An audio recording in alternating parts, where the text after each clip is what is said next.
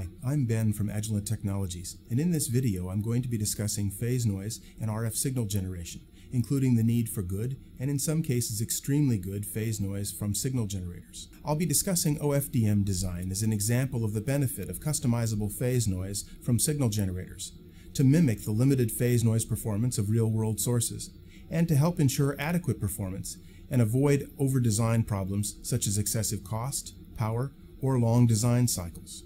To understand the performance of a system element, such as an ADC or a modulator or upconverter, or to isolate a defect, you may want a perfect test source, one that's much better than the circuit under test. The new MXG offers several levels of class-leading phase noise performance for both CW and modulated signals.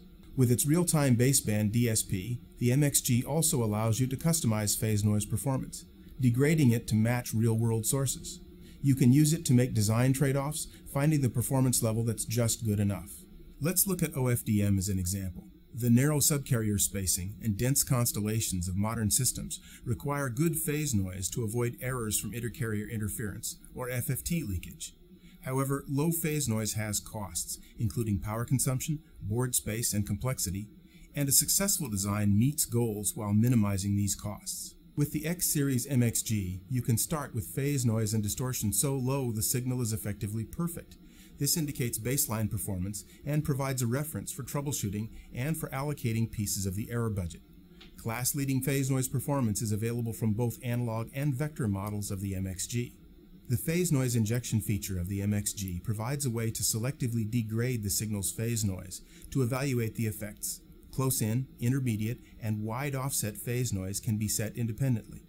But in OFDM systems, all phase noise is not the same. Phase noise at wide offsets, compared to the channel, is generally filtered out.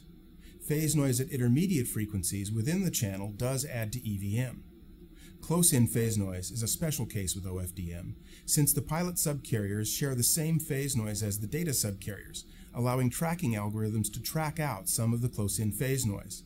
This tracking is generally effective to about 10% of the subcarrier spacing, making some close-in phase noise less important in real-world systems. Optimizing a design in this situation requires different performance at different frequency offsets.